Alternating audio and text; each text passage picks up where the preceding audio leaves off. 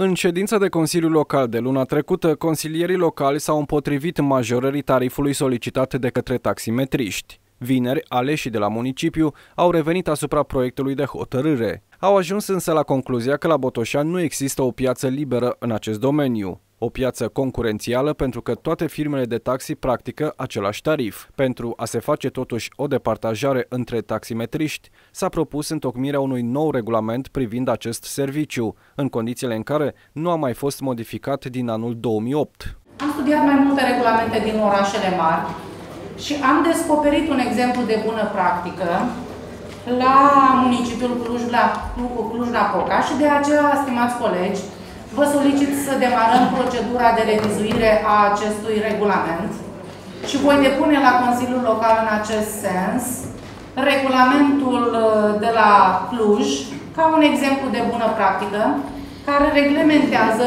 inclusiv un cazier profesional. Acest cazier ar face practic o departajare între firmele de taxi. Concret, ar exista o evidență în ceea ce privesc abateriile fiecarei societăți, iar în funcție de acest aspect se va decide dacă firma va mai putea concura pentru obținerea unei licențe. Vrem să lucrăm pe un regulament, doamna spune foarte bine, e un regulament care îl aplică Clujul, da? Clujul și vorba colegul acolo, e și Uberul și acolo e o nebunie.